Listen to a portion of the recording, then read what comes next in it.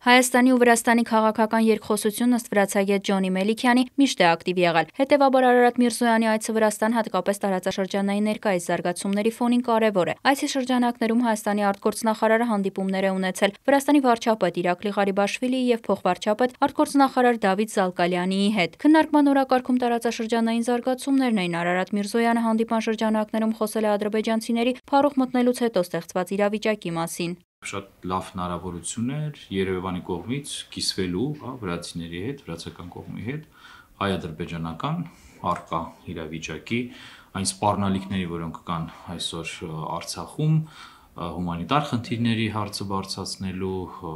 նույն տիպի, հա, նաև կիսվել է Վրաստանի վարչապետը Հարավենոսիայի Աբխազիայի մասով։ Տարածաշրջանային զարգացումների ֆոնին Վրաստանը պահում է դիվանագիտական չեզոքությունը։ Քաղաքագետը հիշեցնում է Վրաստանի վարչապետը դեռևս նախորդ տարի խոսել է խաղաղ տարածաշրջան նախաձեռնության մասին, որի շրջանակներում որոշ բաներ արվել են, այդ թվում հայ գերիների վերադարձը։ Այսօր նաև խոսում են նրա մասին, որ վարչապետի նախկինում հնչեցված այդ գաղափարին վերադառնալու են եւ ավելի ակտիվ են լինելու հա պաշտոնական Թբիլիսին տարածաշրջանային process-ների նկատմամբ ինչը եւս ցույց է տալի որ այդ նախաձեռնությունը, որը ինքը հնչեցրեց ՄԱԿ-ում դեռևս հա իր ելույթի ժամանակ, ես նկատի ունեմ որ Վրաստանի վարչապետ Ղարիբաշվիլուն ինքը կշարունակի նաև այս ուղղությամբ որոշ քայլեր կատարելը Վրաստանի այս նախաձեռնությունն առանձին է թուրք-ադրբեջանական 3 գումարած 3 պլատֆորմից։ Քաղաքագետն այս հանգամանքը տարածաշրջանային զարգացումների կարգավորման համատեքստում կարևորում է։ Այդ նախաձեռնությունը զուգահեռ, հա, նախաձեռնություն է եւ որևէ ձևով որևէ գործող ֆորմատի այլ ընտրանք չէ եւ Թբիլիսին հստակ էս ամենի մասին խոսում է եւ խոսում են որ իրենք այլ, հա, գաղտնի օրակարգ չունեն իրենց համար կարևոր է կայունությունը տարածաշրջանում, որ նաև իրենք կարողանան իրենց նաև աշխարհակաղակական դիրքից օգտվեն։ Նշենք, ավելի վաղ թուրք-ադրբեջանական նախաձեռնությամբ առաջարկվում էր ստեղծել 3 գումարած 3 ձևաչափ, որին մասնակցելու առաջարկից Վրաստանը որպես տարածաշրջանի ներկայացուցիչ հրաժարվում էր։ Վրացագետը պաշտոնական Թբիլիսի այս արձագանքը մեկնաբանում է։ Իրենք ունեն մտահոգություն, որ Ռուսաստանը կարող է ընթացքում հարավային Օսիա Աբխազիայի ֆորմատի մեջ բերի իրանք նաև Վաշինգտոնի արձագանքից էին մտահոգված, քանի որ Վաշինգտոնը հստակ ցույց տվեց, որ Թուրքիան այս ֆորմատում որպես արևմուտքի ներկայացուցիչ արդեն բավարար էր, հա, արևմուտքի համար ուստի Թբիլիսին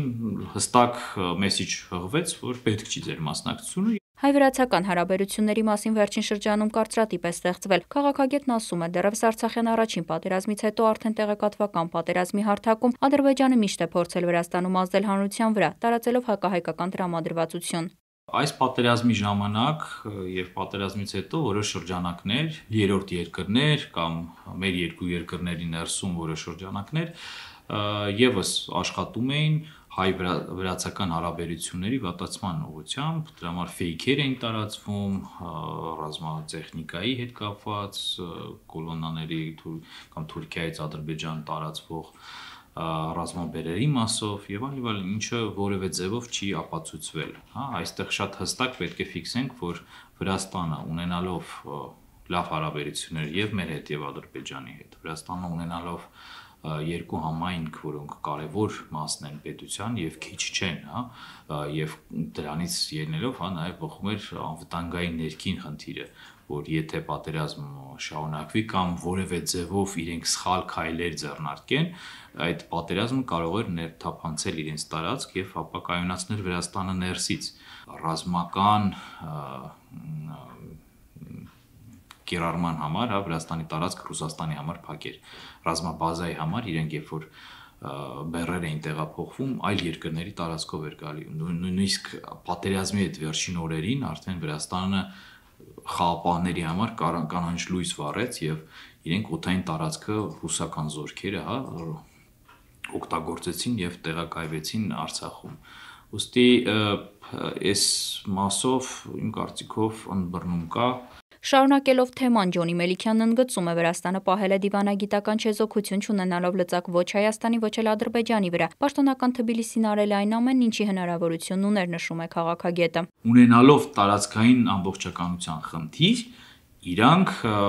ի սկզբանե միշտ էլ սատարել են Ադրբեջանի տարածքային ամբողջականությունը բայց միշտ շեշտելով, որ իրենք կողմնակից են, որ այս գործընթացը, հա, Արցախի հարցը դիվանագիտական միջոցներով լուծվի, ոչ թե պատերազմով, հա, քանի որ այդ պատերազմը եւ ապակայունացումը տարածաշրջանը եւ նաեւ կարող է ազդել եւ Վրաստանի վրա ստեղծելով սպառնալիքներ հենց Վրաստանի համար։ Հիշեցնենք, պաշտոնական այցով Արարատ Միրզոյանը վերջին անգամ Թբիլիսիում էր 2021 թվականի սեպտեմբերին, վարչապետ Նիկոլ Փաշինյանի պատվիրակության կազմում։ Զարա Ղազարյան, Մկրտիչ Ոսկանյան, Իրական լուրեր։